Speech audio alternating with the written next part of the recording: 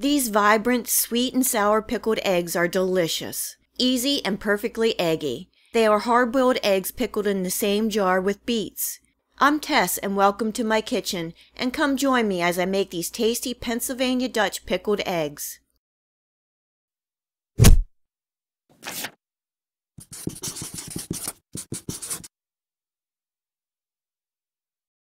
This recipe makes a dozen pickled eggs.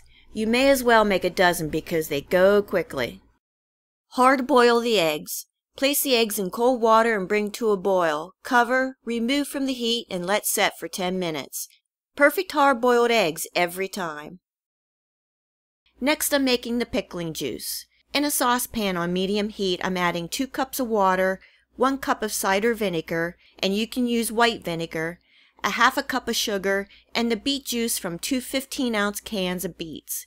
And that comes out to about one half cups of beet juice. Just bring that up to heat and stir. You don't want to bring the mixture to a boil. You just want to heat to get the sugar dissolved. Once the sugar is dissolved, remove from the heat to cool.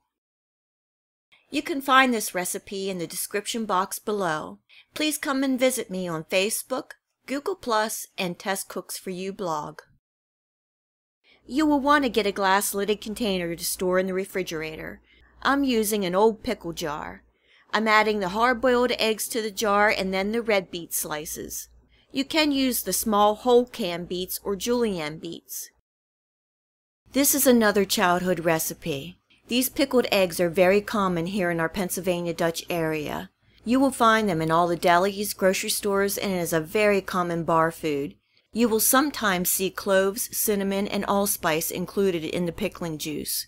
Slices of onion or hot pepper may also be added to the pickling liquid with the beets and eggs. But this version is how I've always made pickled eggs.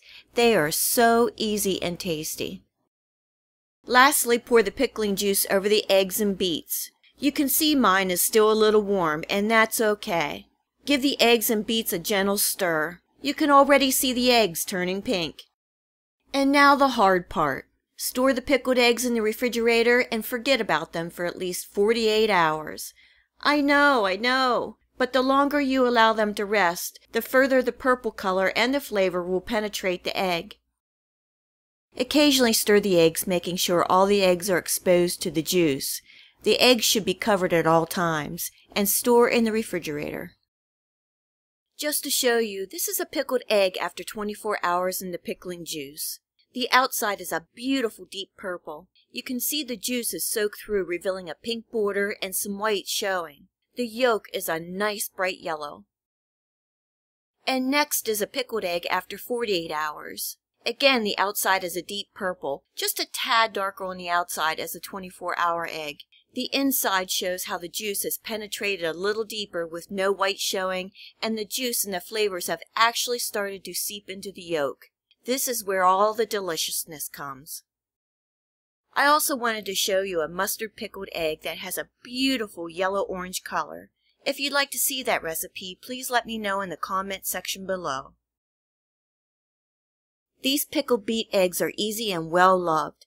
They are great for picnics, get-togethers, and a great way to use up some Easter eggs. You can serve these as a side dish for a sandwich, slice over salads, or just sprinkle a little salt and eat as a snack. And the answer to your question is yes, you sure can make pickled deviled eggs, and they are delightful. I hope you give these pickled eggs a try. You will love them. Thanks for joining me here at Tess Cooks For You. Please remember to like, share, and subscribe for future recipes and videos. I appreciate all my viewers, and until next time, much love.